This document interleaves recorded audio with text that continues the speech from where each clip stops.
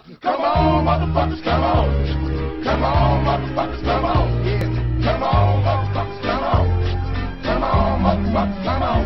Release the brainstorm to make your motherfucking brain warm. Hallo, mine fantastiske seere. Velkommen til Jonathan Johansen, beste YouTube-kanalen på hele verden. I dag så har jeg med meg min gode venn Tobias Lungseth Rotevatn. Og i dag så skal vi intervjue folk og spørre dem om de liker jula. Så let's go! Vi skal jakte på juletrots. Jeg liker ikke jul. Hvorfor det? Fordi det er uh, kjedelig. Hallo. Nå tror vi at vi har funnet noen juletott her. De står rett der borte. Kameraen, se. Skal vi ta en nærmere kikk? Ja. Unnskyld. Unnskyld. Beklager. Hei. Hallo. Hei. Eh, Vi, vi eh, la merke til at dere drev og hoppa rundt juletreet her nå. Ja, Ja, eh, Hvorfor det? vi elsker jul. Dere liker jul, ja. Det er beste årstida. Hvorfor liker du jul? Det er beste tida året. Det er så koselig. Jeg er helt enig, og det er veldig god mat. Ja.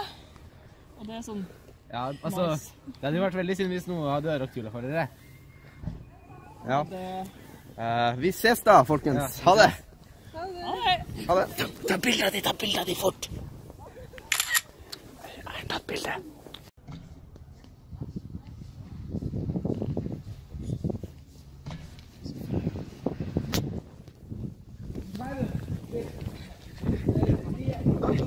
Vi ønsker stille deg et spørsmål. Ja, ja, stille vei. Ja, eh, hva synes du om julefeiringa her på, på Svalbard? Kan jeg få holde mikrofonen? Den er nasty, altså. Jul er noe dritt. Folk er så overhypa. Det er bare sånn hoppe, hoppe. Takk, takk. Ja, dette var da eh, meningen til eh, Hva heter du, min gode mann? Eh, Tobias Kjerringøy. og jeg er Rodal HD på YouTube. Eh, Link i beskrivelsen. Håper jeg, så vet jeg hvor du bor. Fint. Har vi fått opplært eh, hva noen av eh, byens ungdom mener? Da har vi funnet ut at det er ganske mange i byen her som ikke er veldig glad i jul. Men det er to jenter vi har funnet som liker jul. Hva skal vi egentlig gjøre med de? Har du noe forslag? Nei, jeg vet ikke, Vi får se om vi finner noen som kan gjøre, hjelpe oss med akkurat den saken her. Han der. Ja. Han, han likte jo ikke jul. Nei, det er sant. Du, unnskyld! Unnskyld! Ja, hei. Eh, Du likte ikke jul, ikke sant? Nei, jul er noe piss. Ja.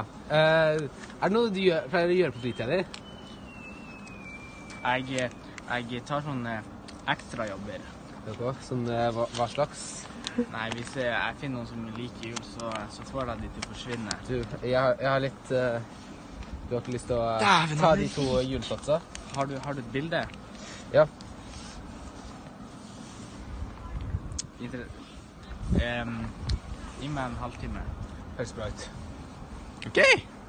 Da har vi kommet på en plan om hva vi skal gjøre med Totsa. Vi må bare diskutere. Han gjør tydeligvis sin egen greie. Men eh, ja, vi ser dere om litt når vi konkluderer denne historien. Ja. Yeah,